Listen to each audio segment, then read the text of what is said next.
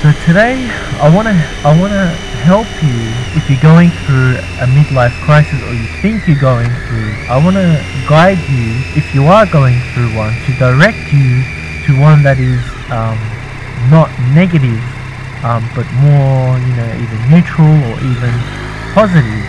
Um, because a midlife crisis is a very uh, powerful biological force, which we'll talk about how that happens a very powerful force which will overrun anything that comes in its way. You know, that could be like your family or your finances or your friends um, or, or even yourself. Uh, so I want to help you to direct um, your midlife crisis uh, away from something negative into something that's more either neutral or even positive. I'm going to be basing what I'm talking about based on my own experiences and what I went through. So, uh, welcome to my channel where we talk about bikes and Bible verses. Um, so, as usual, we're going to have a Bible verse at the end, so please stick around for that. Uh, today, we're not really talking about bikes, although it's sort of related. So, the first point I want to talk about is to identify if you're really having a midlife crisis. And the problem with identifying is the people that are around us. Because you could you could do something in your in the age 20s or early 30s right? No one will care. No one will, no one will say anything. But you do the same thing in your late 30s or early 40s and everyone says oh it's a midlife crisis. So like people have a bias um, people have like this bias of associating associating things based on like the current context. You buy a car in your 20s, no one cares. You buy one in your 40s, like oh midlife crisis. You know, you get a divorce in your early 30s, no one cares. Um, you get one during the age of your 40s, oh you know it's a midlife crisis. So um, the first thing is avoid people like like people just some some people just even mock and make it as a joke and say it as a joke. And it's it's not it's not a funny joke, you know. Um, avoid people like that. You don't you don't really need people like that in your life. So there are a couple of things that actually point out that are very uh, strong indicators uh, of of midlife crisis. And the first one is if you are in the age of say between I don't know 36 and 40 something, early 40s, and you have this sudden and overwhelming feeling of just just being bored and, and just wanting a change. Uh, also, other people say that um, you want to change everything about your life. Now, me personally, uh, I had that first point. I was just this, there was this sudden um, there was this suddenness of just being really bored with everything that I'm doing and um, I didn't have that thing, that feeling of wanting to change myself. I, I didn't really want to change myself. Um, I have heard of other people who who do want to change themselves, but uh, me personally, I didn't go through that. Um, uh, what what I what I did do is is I wanted to get things back into my life, um, specifically things that I used to do when I was younger. Um, I remember just suddenly just looking up and trying to join a soccer team. Um, you know, I hadn't played soccer for over 10 years and and suddenly I just wanted to, to, to get back. There was like this urgency um, of wanting to get back into it. And the reason that a midlife crisis happens it's, is it's biological. So your body, as you get older, your body starts sending you signals. And those signals are telling you like you feel it in your brain you know your brain you, you, you kind of your brain senses it and feels it and it kind of sends you signals to say that you know you are not at your peak. Um, you are starting to decline you know, physically. Uh, you, you know your body feels that what it tells you is, you know, people are busy. They're busy in their life, working on their career, they're working on their families, and then they start to get these signals uh, of their physical body saying, hey, you know, you're, you're actually starting to decline. Uh, you're starting to physically decline. And so your brain says, well, what am I doing wasting my time with all this stuff trying to build a career and you know family and everything. That's how your body sees it, right? And why am I doing wasting my time with all this stuff? And I'm not enjoying my life, and I'm starting to decline. So this mix of signals that happen and says, well, I'm not gonna. I'm starting to decline. I'm not gonna have time to do the stuff that I really enjoy. Uh, maybe that's physical stuff, and in essence, that's what a midlife crisis is. And like I said, like it's this feeling that you cannot, you can't reason with it. You can't talk sense to it. Um, but I think you can guide the direction of it.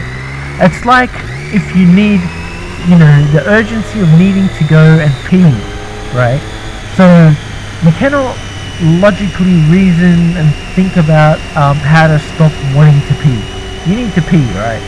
So uh, what you want to do in a midlife crisis is you you want to guide where you pee.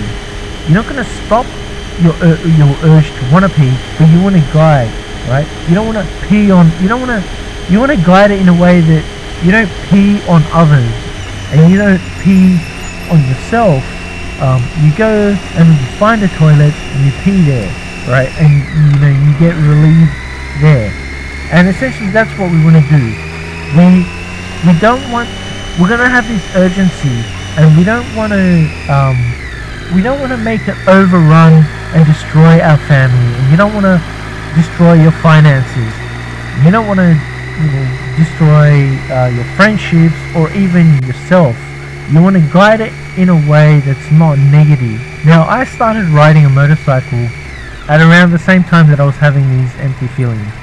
Uh, but I always insist that I didn't start riding because of a midlife crisis. I really, really believe that riding was like it was just a matter of circumstance. Like it was just the people around me and the things that were happening. And although starting to ride a motorcycle really cured, even though it wasn't the reason why, um, it took away, it sort of relieved some of those feelings. But the other thing is, I at the same time, um, I happened to buy like this car, which is a bit like a sports car, right? Fast car.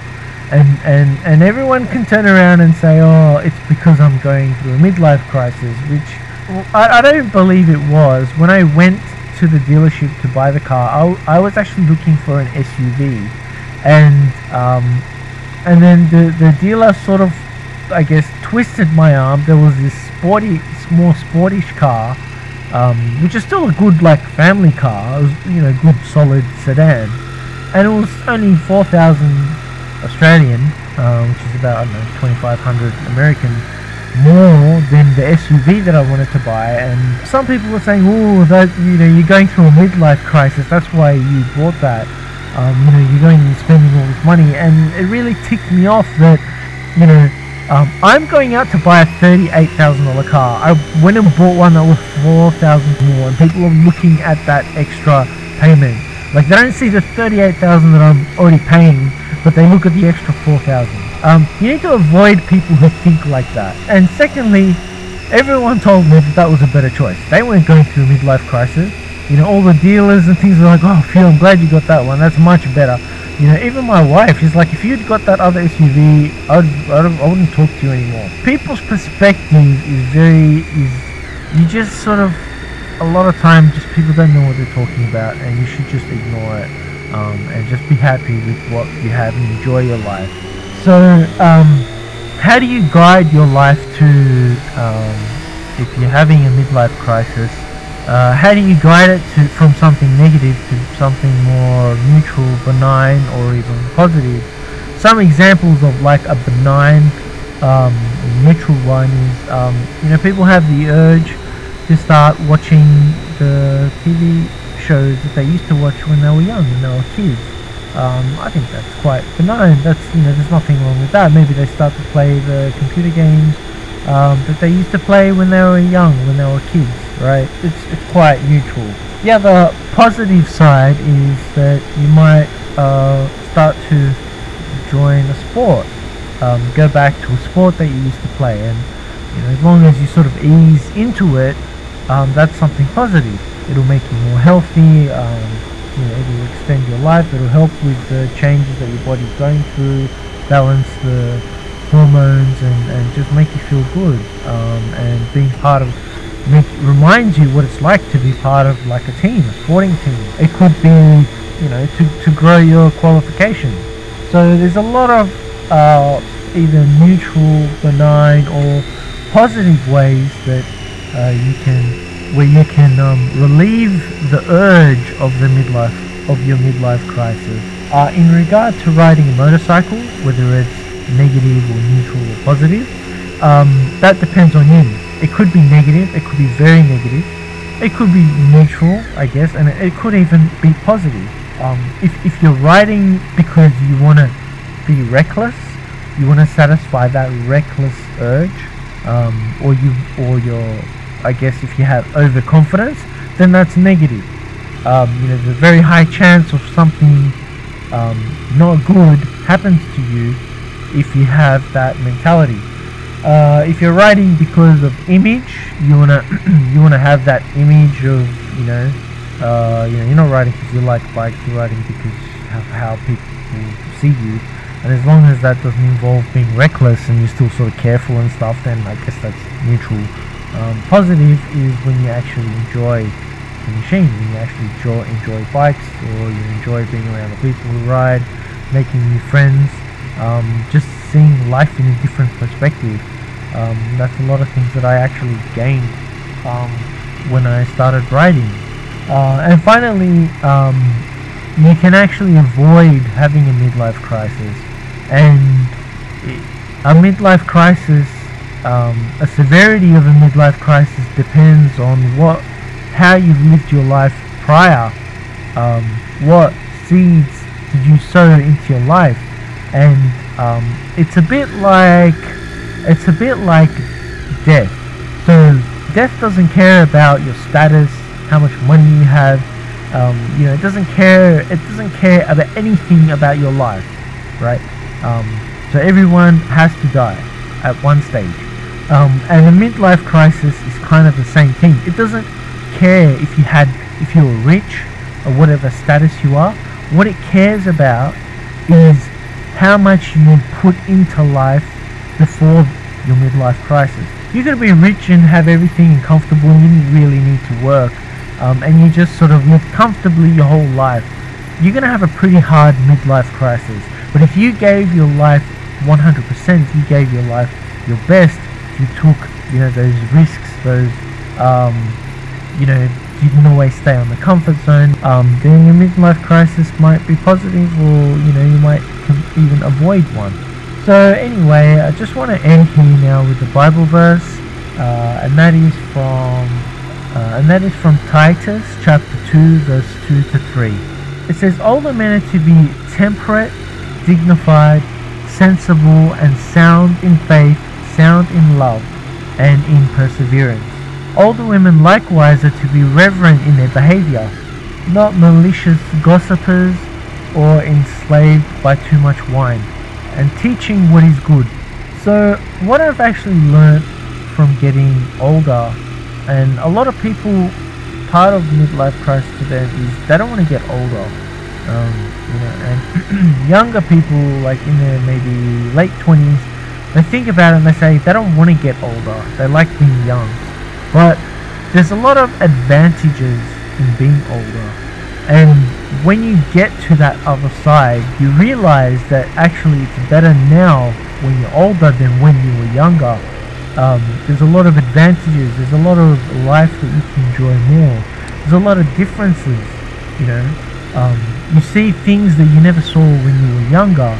Uh, you know, as I said, I joined the soccer team, um, and I don't now. I don't do as much playing. I still play, but what I also do um, is is you know I referee and I guide and I train and coach young people, and um, sometimes you see that respect, that respect when I'm out refereeing on the soccer field trying to keep people safe. You see that respect of those younger guys um, in, in, their treatment, um, and and just the you know if, if they have any sense, and a lot of people are sensible, a lot of young people are sensible, um, they have that sort of um, respect that you're older and you know more and you're, you're wiser, and they try to learn things off you. Um, that's a side that I didn't realize. I didn't see that one coming. Um, so there's a lot of advantages. So anyway, that's all I've got. I hope um, I was able to help you uh, if you are going through a midlife crisis, help understand what's going on, um, and just to, I guess, look after yourself. So also, uh, if you like uh, my, if you like my video, please give it a like, um, and uh, and if you like my content in general, hit subscribe, uh, make a comment. That helps. Um, that helps my channel. Those things help my channel to um, you know to, to grow.